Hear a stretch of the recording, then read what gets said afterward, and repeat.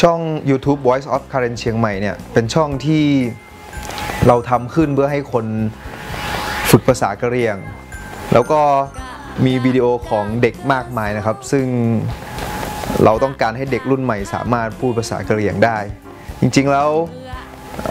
ไม่ใช่ว่าภาษาไทยไม่ดี ไม่ใช่ว่าภาษาอังกฤษไม่ดีเราฝึกภาษาไทยด้วย แต่ว่า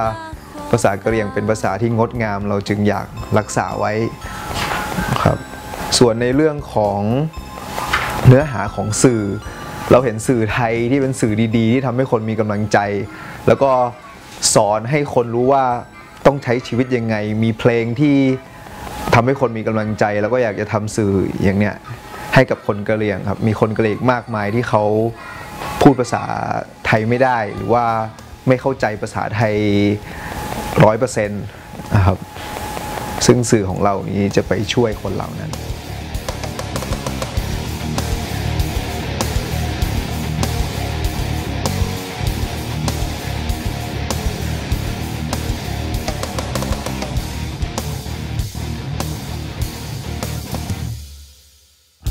ประเทศไทยเนี่ยถือว่าเป็นชนเผ่าที่มีจำนวนมากที่สุดในไทย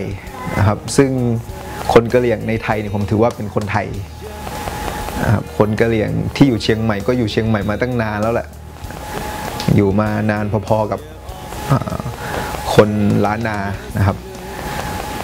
ส่วนคนกะเหรี่ยงที่พม่าเนี่ยเขาก็อยู่มาก่อนคนพม่า แต่ในบริบทของเขาเนี่ยคือ เขาอาจจะต้องการดินแดนอะไรต่างๆของเขาอันนั้นเราไม่รู้แต่ที่แน่ๆคือคนกะเหรี่ยงจำนวนมากอยู่ที่พม่า และคนกะเหรี่ยงที่ต่างประเทศที่ยุโรปที่อเมริกาเนี่ยเพิ่มขึ้นเรื่อยๆ เพราะว่าคนกะเหรี่ยงที่อยู่ที่ศูนย์อพยพที่ไม่มีบัตรประชาชนเนี่ยทาง UN เขาก็ส่งให้ไปอยู่ต่างประเทศครับ ผมคิดว่ามีโอกาสสูงที่จะยังรวมตัวกันอยู่ต่อไป เพราะว่าเขาไม่ได้มีนิสัยที่ อยากจะกลืนตัวเองเข้ากับชนชาติอื่นมากนักนะครับ แล้วก็ด้วยความที่เขามีประชากรจำนวนมากเนี่ยถึงแม้ว่าจะมีบางคนไปแต่งงานกับชนชาติอื่น ก็อาจจะยังอยู่ในสังคมกะเหรี่ยงต่อไปบางคนแต่งงานกับฝรั่งลูกหลานก็ยังอยู่ในสังคมกะเหรี่ยงแทนที่จะไปอยู่สังคมฝรั่งอะไรเงี้ยเพราะว่าสังคมกะเหรี่ยงเป็นสังคมใหญ่ ดังนั้นสื่อกะเหรี่ยงถือว่ามีอนาคตแล้วก็คนกะเหรี่ยงก็จะยังรวมตัวกันอยู่ต่อไป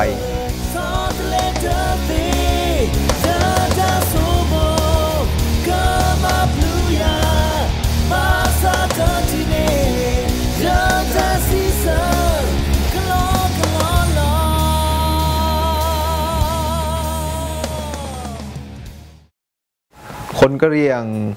มีอยู่ทั่วโลก แต่ว่าคนกะเหรี่ยงในประเทศไทยก็จะมีเอกลักษณ์ของเขานะครับ ซึ่งเราก็พยายามใช้เอกลักษณ์ของคนกะเหรี่ยงในประเทศไทยให้เป็นประโยชน์ คนกะเหรี่ยงที่อเมริกาเขาก็ชอบดูช่องของเรามาก เพราะว่าคนดูของเรา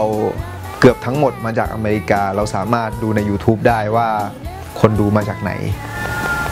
ครับแล้วก็ การเชื่อมโยงคนกะเหรี่ยงเข้าด้วยกัน